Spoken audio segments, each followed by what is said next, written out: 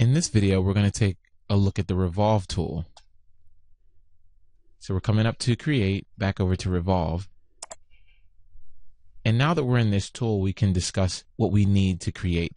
First of all, we're going to have to use boundary line, which is currently selected, to create a 2D profile that we're going to use with this revolve tool. And then the second piece that we need is we actually need an axis line so that we know about which axis to go ahead and revolve this tool around. So we're going to let's start with the profile and I can create this here in plan.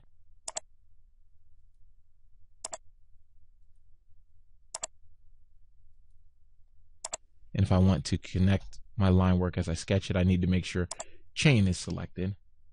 And I'll zoom in a little bit more still. And we'll just continue to sketch the profile that we need here.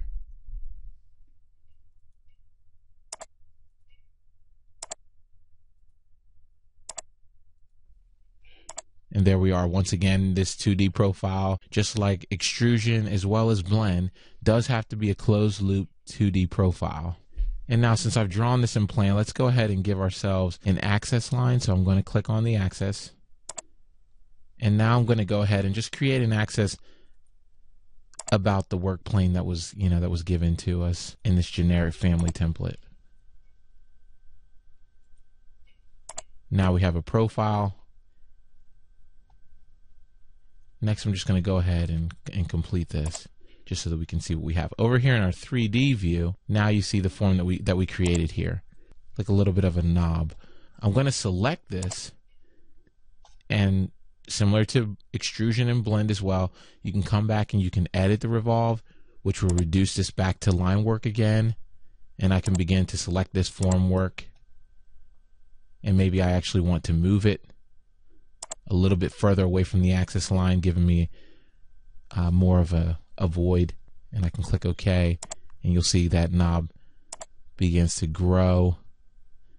I actually want to point out while we have this selected, back over in our properties menu, we can actually begin to control how far about that axis our 2D profile is actually revolved.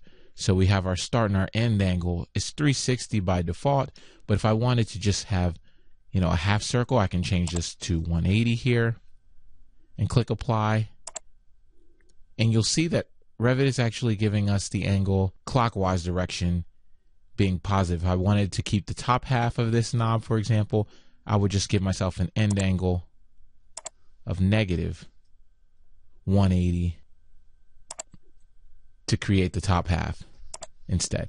So this is how we control right here how much of the revolve is kept using that formwork in our axis. So that's that's pretty powerful as you kind of get into some more detailed forms to know exactly how to manipulate what you have here, as well as going back and forth revolving the actual sketch line work that we have. So I hope this video has been helpful as you continue to revolve. Revolve is also used in the family video where we created a table. We used it for our table leg as well. Um, so there will be lots of opportunities as you create families and continue with conceptual massing to use the revolve tool. I hope this video has been helpful for you.